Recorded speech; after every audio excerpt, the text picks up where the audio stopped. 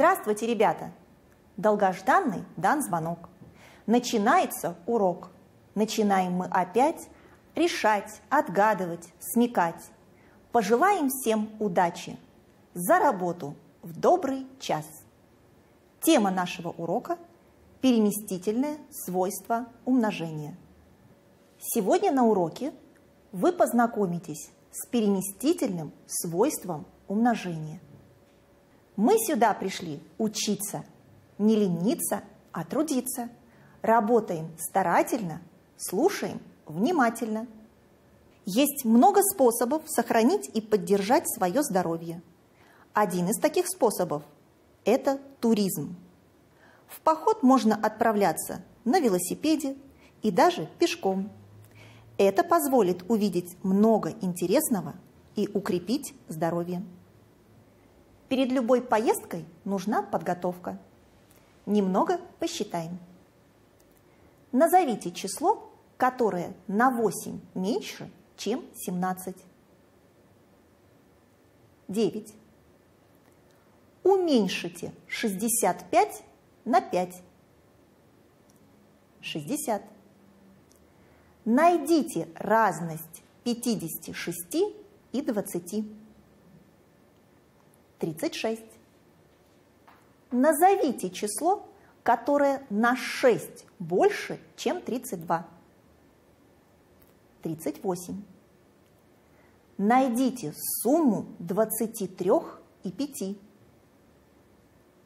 28. Увеличьте 68 на 12. 80. Давайте рассмотрим ситуацию. На туристической базе в пеший поход отправились три группы по пять туристов. Как узнать, сколько всего туристов отправились в поход? Правильно.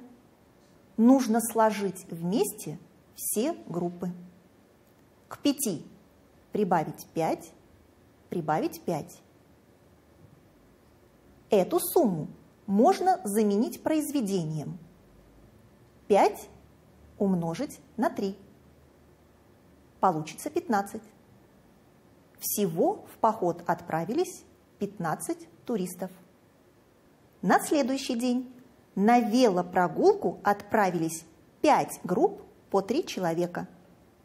Сколько человек участвовали в велопрогулке? Нам опять нужно сложить всех участников прогулки. К трем прибавить три, прибавить три, прибавить три и прибавить еще три. Заменим сложение умножением. 3 умножить на 5. Получится 15 человек. Скажите, кого было больше, велосипедистов или пеших туристов? Пеших туристов было 5 умножить на 3, получится 15. А велосипедистов 3 умножить на 5, получится 15. Значения произведений одинаковые. Значит, количество велосипедистов и пеших туристов одинаковые. А теперь посмотрите на множители в первом и втором выражениях. Что вы заметили?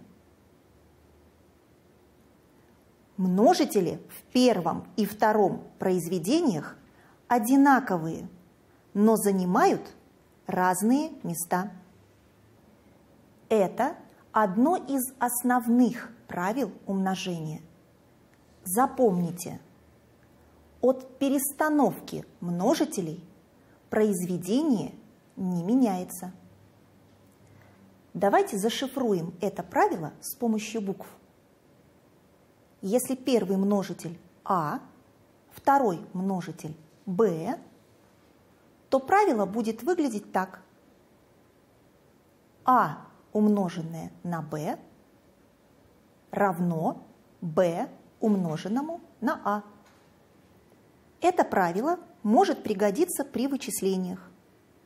Рассмотрим выражение. 20 умножить на 2. Это к 20 прибавить 20. Получится 40. Значит, и по 2 взять 20 раз тоже получится 40. Попробуйте сами. 35 умножить на 2. Это 35 прибавить 35. Получится 70. Значит, и 2 умножить на 35 тоже получится 70. 42 умножить на 2. Это 42 плюс 42.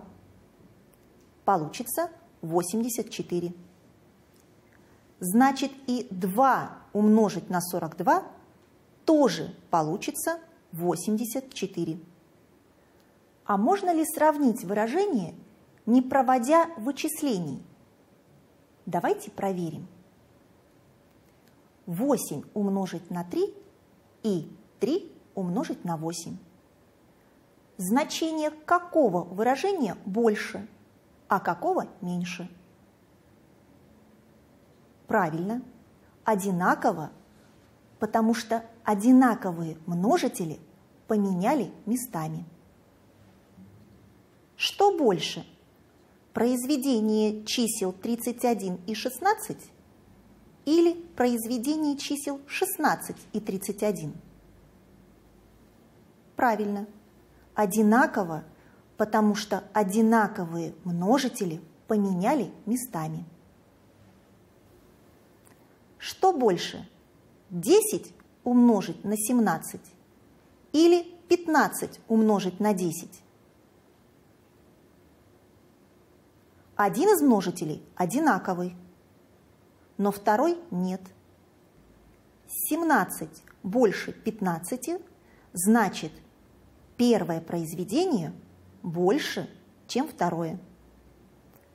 Молодцы, у вас отлично получается. После окончания урока откройте учебник на странице 25 и выполните пятое задание до конца вы уже умеете составлять краткое условие к задачам. Попробуйте составить задачу по краткой записи. Например, туристическая база получила 25 взрослых велосипедов, 37 подростковых и 30 детских. Сколько всего велосипедов получила туристическая база. Давайте решим задачу. Какое действие поможет ответить на главный вопрос задачи? Правильно, сложение. Нам известны все данные, и мы можем их сложить. Давайте запишем решение задачи одним выражением. К 25 прибавить 37 и прибавить 30. Получится